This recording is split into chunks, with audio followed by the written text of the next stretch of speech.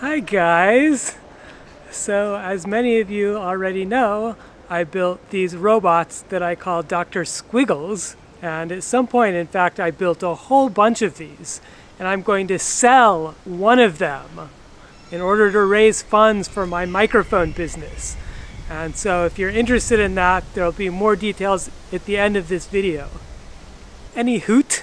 So Dr. Squiggles is a rhythmic tapping robot so there are these solenoids all around its legs, and it basically just uses these solenoids to tap rhythms on whatever surface it happens to be sitting on. It also has a Raspberry Pi computer and some other electronics inside, which help the robot decide what rhythms it's going to play. And here are some images showing how all of that circuitry is packed in there. And so each robot is also listening through a microphone, and I normally use contact microphones for this. And contact microphones have this special property that they really only hear sound that's traveling through solid surfaces, and they don't really hear sound that's traveling through the air. And that allows the robots to be selective about what they listen to. And so the mic is just plugged into the USB port of the Raspberry Pi computer. And so I've been showing these robots at a variety of different art science installations kind of all around the world. And so here they are at the International Sonic Design Workshop in Oslo. And the way I've set this up, I have three robots, or I guess it's more like three robots plus an empty table where people can play rhythms. And this is what it looks like from overhead. And so how this works is that the one robot in the front projects a contact mic out to the empty table, which means that this robot only hears what's happening here on the table and nothing else. And then these other two robots in the back project contact mics out to the first robot, meaning they can only hear what the first robot is playing and they cannot hear what's happening on the table. So the robots are programmed to do beat and tempo tracking, meaning that if they hear a rhythm, They'll try to figure out what the tempo is and they'll try to find where the downbeats are and they'll try to synchronize with the beat. And I have a couple of videos on this topic already and so I'll link those down below. And then the way I have it set up here, these robots are also trying to respond to that kind of average rhythm that they hear. So what that means, if they hear a rhythm that plays a stroke on the downbeat 70% of the time, then you know, that robot will also play on the downbeat 70% of the time. And if a robot hears the same rhythm being repeated over and over and over again, then that robot eventually will also start repeating that same rhythm over and over and over again. And so I also wrote a paper about how all of this works. It's a little bit more technical on how it describes it, and I'll also link that down below. So I'm going to show you a demo of that, and then the demo what you'll see first You'll see me count in the robots and I'll just play a steady beat. And it might take a few seconds but eventually the robots will lock on and synchronize to that beat. And then you might hear me play a few different rhythmic patterns and whenever I switch to a new rhythmic pattern it might take a moment but gradually the robots will start playing the same rhythm as me. And then at some point you'll hear me speed up. And when I speed up the whole music will probably fall apart a little bit and it may take you know a few seconds for it to recover but eventually you'll hear the robots find the new tempo and lock into that and then the music will all kind of come back into focus again. So yeah enough talking. Here's the video of that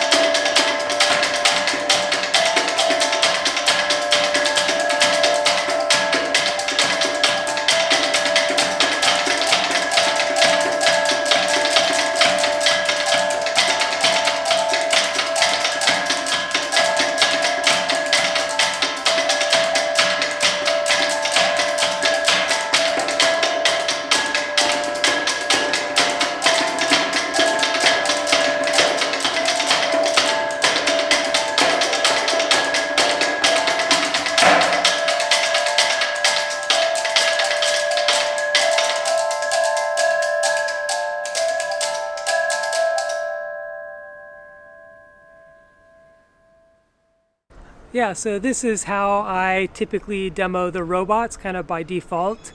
And this definitely requires a little bit of skill to learn how to control, but once you do, it's actually quite fun. The only limitation here is that the music is very kind of four square. So the beat and tempo tracking that I talked about is perfectly happy for me to play in any meter and with any subdivision of the beat. But the way that I have the robots playing kind of the average rhythm requires some constraints and I've chosen to constrain the robots to play four beat rhythms with four subdivisions per beat. And so I want to show you a different demo that's quite a bit less constrained. And so this demo still has the beat and tempo tracking, but rather than trying to play the average rhythm, what they do is just repeat whatever they hear two beats later. So it's like a call and response with a two beat delay. So in this video, you'll hear me play two beats of something, and then the robot in front will repeat those two beats, and then the robots that are in the rear will repeat those two beats again because they heard the first robot play it. And so you'll hear me playing a little bit in simple meter, and then you'll hear me playing a bit in compound meter. And the other thing you'll notice is that this whole system has zero mean latency, meaning even the two robots in the back play perfectly in time with me. So in other words, the system doesn't accumulate additional delay as this rhythm kind of propagates through the different layers of robots.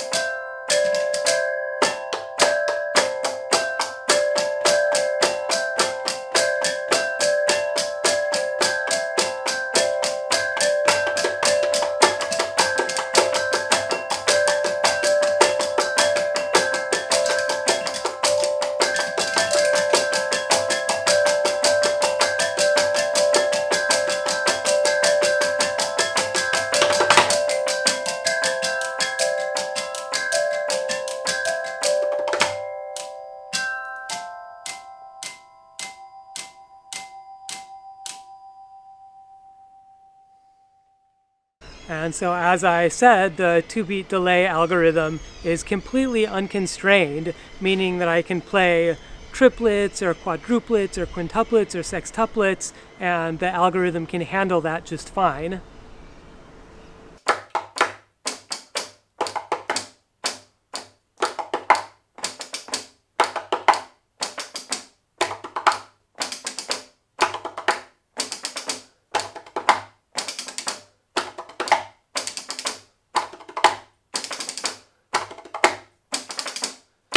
Okay, so to change the topic a little bit, so as many of you already know, I make and sell these contact microphones on my website. And if any of you have tried to buy any of them within the past like three years, you'll notice that they're more often than not completely sold out or very limited quantities. And that's because of issues in the supply chain and the manufacture of these aluminum housings. Uh, it's actually been a complete annoyance. And so what I'd like to do is buy a CNC milling machine so that I can manufacture these housings myself, which would allow me to just, you know, stay in stock all of the time. And so for this reason, I'm selling one Dr. Squiggles robot. And the proceeds from that sale will be used to fund the purchase of a milling machine for the contact microphones. And so if you're interested in that, I've put a link down below where you can find more information or you can buy the robot. And so my email address is also on my website. And if you have any questions about that, you're more than welcome to email me. Anyway, so I guess that's all I have to say about that for now. So see you later, suckers. Oh yeah, don't forget to uh, like and subscribe. I I'm trying to get to a billion subscribers before Mr. Beast, okay? So yeah, anyway, I guess I'll see you next time. Bye!